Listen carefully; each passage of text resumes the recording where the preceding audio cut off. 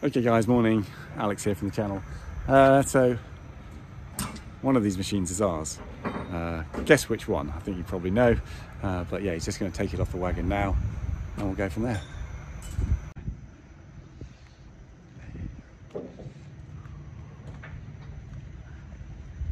Is it this one? Eeny, meeny, miny, mo. Catch. What is it? I can't say what it is now. Anyway.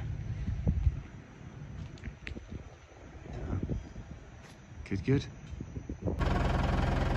Okay guys, so this is what we got in its glory. I think it'll do our wood yard quite nicely.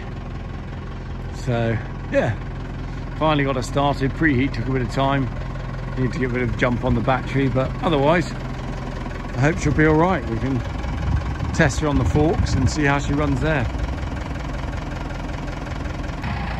Okay, so we're just trying out a new telehandler and trying to get some of the logs out of here. And Dave's going to use that bucket there to push up our softwood here. Some of it's come out, but we've got to take another swipe at it.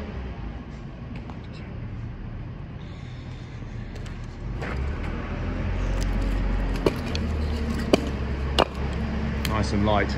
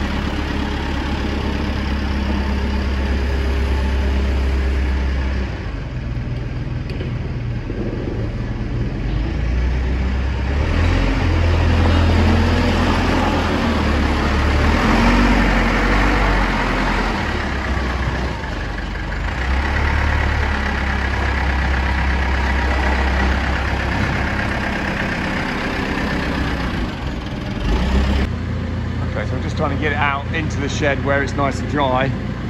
Um, so yeah, I now wish I'd gone for that extra metre in height. but there we are, starting to come out. Just drag it all out backwards. Not too much more now.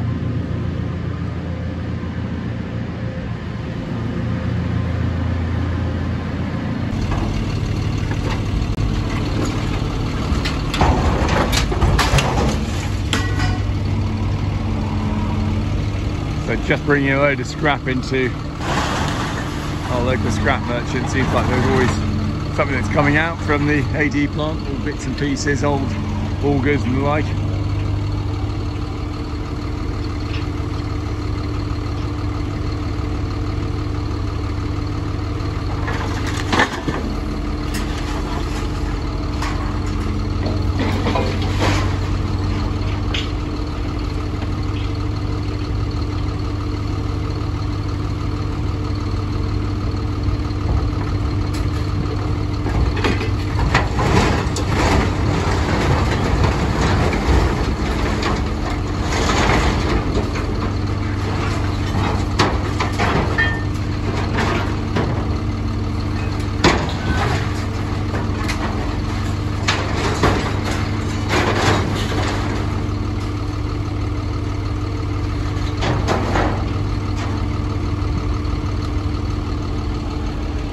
I think it's a fairly good load.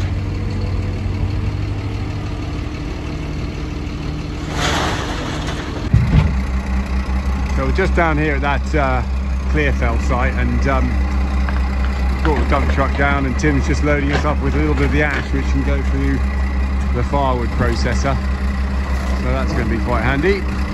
Keep the uh, keep the home fires burning as you say.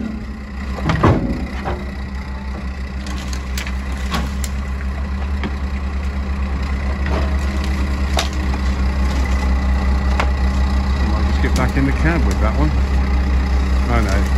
Sorting it out.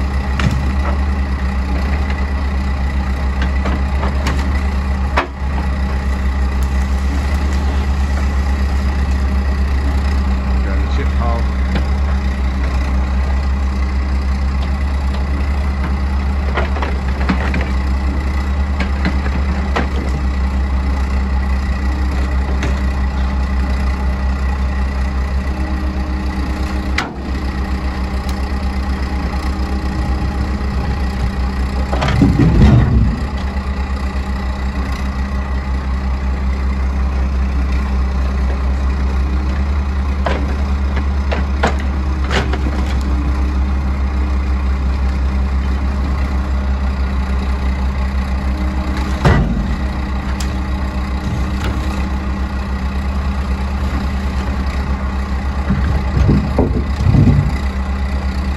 Okay guys, just in the yard, brought the ash and the dump truck back there, so that's quite a nice load.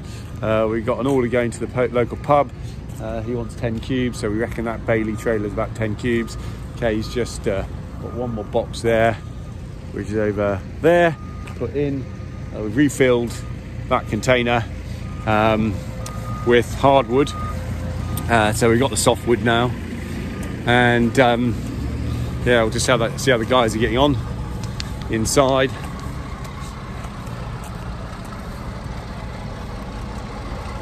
See how it's all looking. Yeah, they've just been bagging up today. We've got some big, the big crates over there. Um, using the Matbro for that. And then, yeah, we're just going to form this side of the shed as a bagging zone. And um, yeah, doing quite a few bulk bags. They seem to be quite popular at the moment. More so than the cubic meter bags, probably because people are, you know, coming up to Christmas, a bit worried about finances and things like that. So, uh, so there we go, guys. Just got to keep that bench bench running hard. Okay, guys, we're just over here at the extension where we put the drainage in uh, for the new sewer, and going to be building out the extension on the back. And so we'll go and take a look and see how Jake's getting on over there. Forced to go on yet. It's, we're unsure until we get the roof on, basically. Yeah, and you're gonna face it with the stone, is it? No, that's that. That's ready now. That's ready. Okay, it was the other side, was it? Yes, correct. Right. Okay. So when you guys, whoever builds, Yeah. this is their internal wall essentially. Yeah. Of the extension. So, Okay. And where's the stone gonna go so the then? stone will sit On here. Will sit on there. Right. And that, Okay. And, it, and it will tie into these that I've built. Oh, I see. Yeah. Sure. Sure. Sure. Skin will come up and, and it will have insulation. Okay. bit like in, similar in there. Yeah. Yeah. See. Let's have a look. So when the other side of that is internal, it's, it's classed as an internal wall. Then. This will be. And this will be then. That's Stephen. Yeah, this Yeah. is Stephen's bit Yeah. with the roof on. And you've got these raised beds. Yeah, correct. Yeah, it's gonna look cracking, isn't it? Yeah. Yeah. So. It's amazing. Where's the cut stone that you had brought in? so that's coming tomorrow. Oh, is it coming tomorrow? Yeah. Yeah. I was They keen to have a look at that. They wanted to deliver and deliver, and we've, we've Yeah. them off because Yeah. Just don't want to pull it here and it gets all wet and crap. No, sure, sure, sure. Yeah, absolutely. Don't want that, do we? But yeah, that's uh, yeah, That's it. good project. This is already here, and then these um, are kind of little drainage points. Oh yeah, for his bed. So if the retainer does get flooded with water, it's, Yeah. it's got places all the way along to. And then where's that going to drain out into? So that will come here, and then this will be nearly underground here. Yeah. So it'll, it'll just drain out into the ground, Into the ground, or right? like a wheat, like a wheat vent. Yeah, I just wondered whether it wanted to have a little sort of bit of drainage into one of those points or something, you know? I think it'll be okay, but I'll keep. I'll keep Yeah. let me keep an eye on it. Yeah. So we got a whole load of bagging done up there. Um, really haven't got too much more dry wood left uh, after big load to the pub. Then not too much wet wood either. Just in there. These last crates to get into the kiln. but we have been bringing a bit more onto the bench. So felled a few ash today, just popping them and splitting them there. Brought in a few beech from the fields that have fallen over, so we'll scavenge this out. And it should be should get something out of this. Hopefully the splitter can handle these. They're, they're fairly big bits, but we'll see how we go. Yeah, so there we are guys.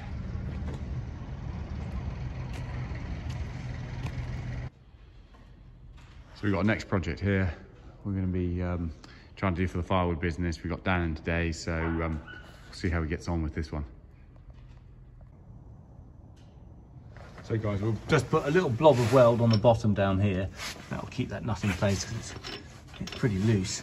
And then we'll get a new arm for it with some proper threads down there. And um, yeah, that'll be one of the things we need to do. So uh, yeah, always a way. Buying a bit of second-hand kit, isn't it?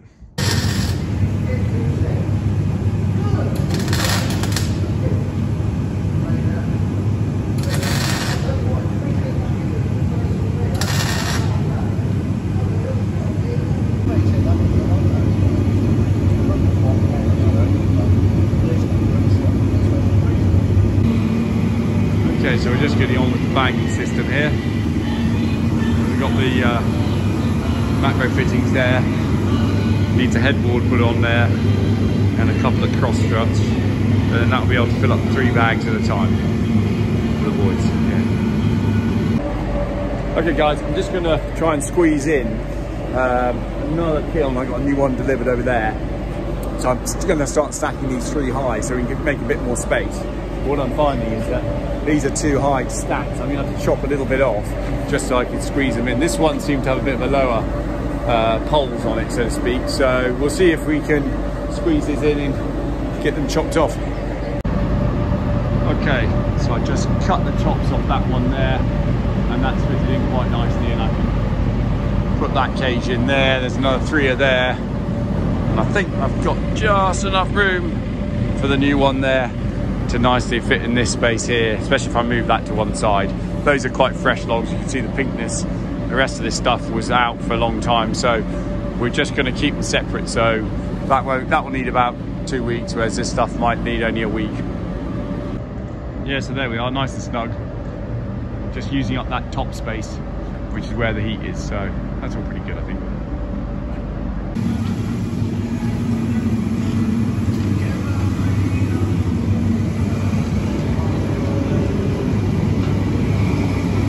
To come on nicely, guys.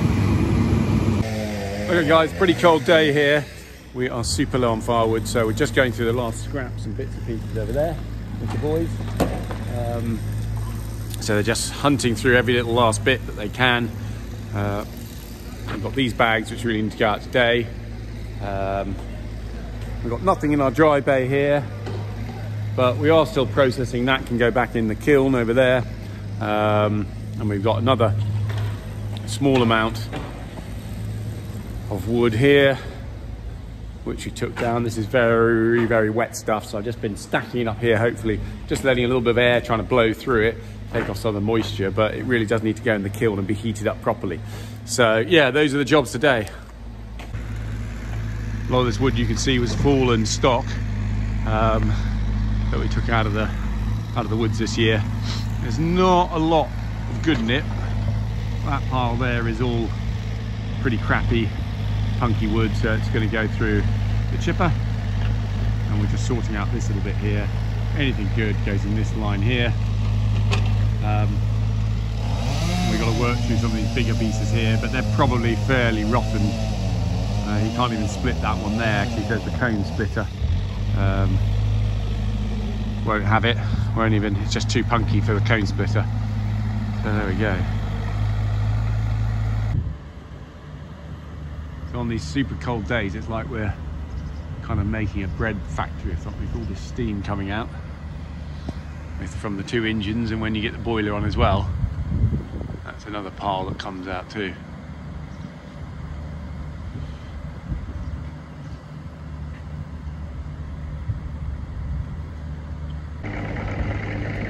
The guys have just tidied up everything now. There's a little bit there to go on the bench. They're just taking them over in a digger. Up onto the salt bench now so we can keep the machine going.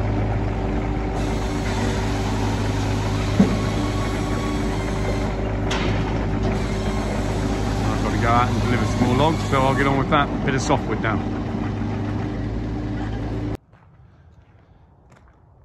So we're just here, gonna go and have our Christmas dinner with everybody.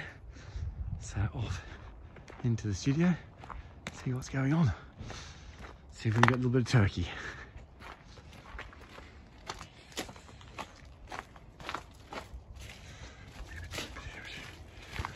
Ah, nice and chilly today.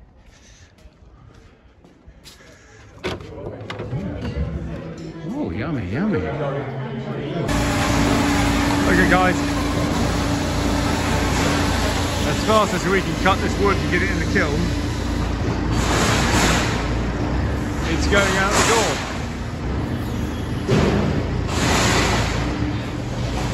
So, that's our dried stock of softwood, which not many people want. We've got one bulk bag of hardwood, and that is it. so, as fast as we can get this out, it's going.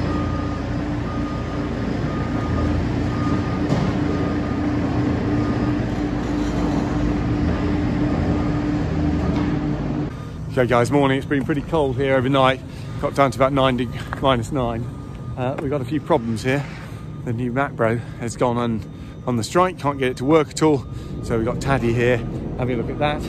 Uh, and we've got customer collecting wood. We've got Kay getting out the bays. Uh, we've emptied out uh, our dryer and our kiln, a big green box over there that we showed you earlier. They've only been in for a week, so that's absolutely flying through the wood. Uh, there's that much airflow through it. But we'll just show you what we've got in the bay now to, to bag up. Okay, so that's all the dry stuff that's come out of the kiln and the green box. Uh, we took some of the bags out already, so it's a little bit less than what it should be. Uh, we've still got this to put into the kiln to dry, that's wet. We've got some larch. Everything from a week ago has already gone out. We've got a few bags of softwood there. And um, hopefully today we're going to have some rounds that we can cut from Robinson Timber. Uh, so we've just been clearing out over here. Haven't got too much hardwood left. That's got to go into the kiln and that's that. Blaze just doing a great job on the tidy up. So we've just got a new bag loader coming here, three bag loading system, see if it works.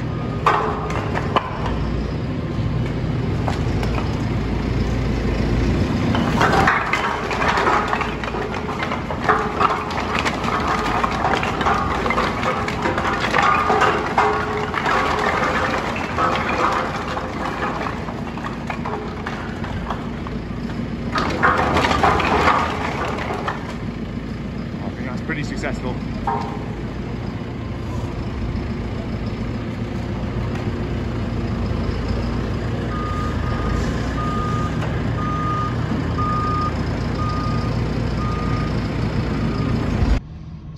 So Daddy says he reckons it's the toggle switch that's gone on this common fault on these Matbros.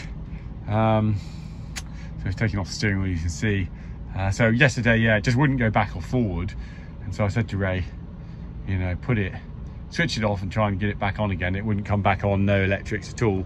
So obviously the toggle switch gave up and it's just, so we had to push it here in crab steer into this corner and we'll see how, I'm sure Taddy will get it going for us. But um, there you go, old machines, eh? okay, so yesterday Dave took the, uh, the screen out.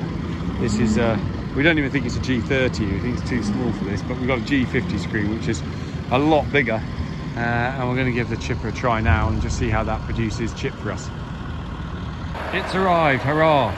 We can keep cutting. He's going to put some straight on the bench.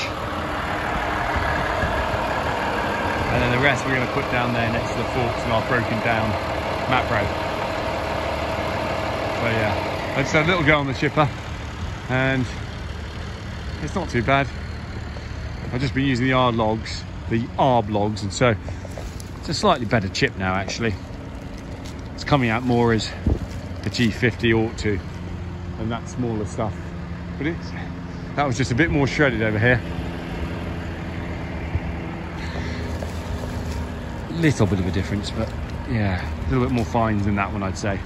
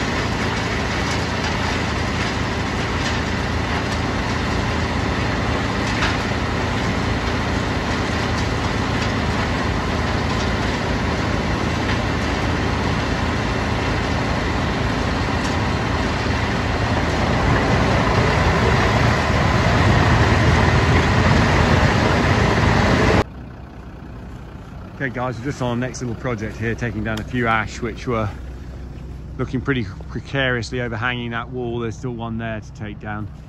Uh, but we've got the dump truck here and um, yeah, these will get into the firewood processor and make nice logs. So yeah, that will be quite good as well. Nice cold morning, so it's good to work in these woods now when uh, you don't make too much of a mess with of kit.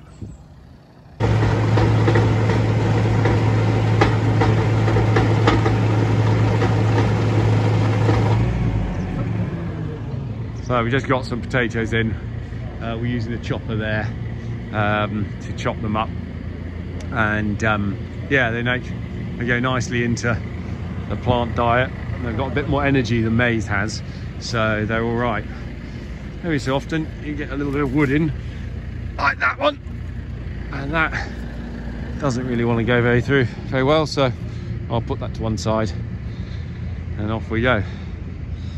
Uh, it's not a pretty cold day here uh, but hopefully uh, it's changing at the weekend and I think we've got a storm coming through so yeah all up and down. But yeah Ray will just work through that pile and make a nice load over there so guys, I'm just getting the fines out of the wood chip box. I've lifted it up, the telehandler, and the outside has got completely frozen and the inside's come out.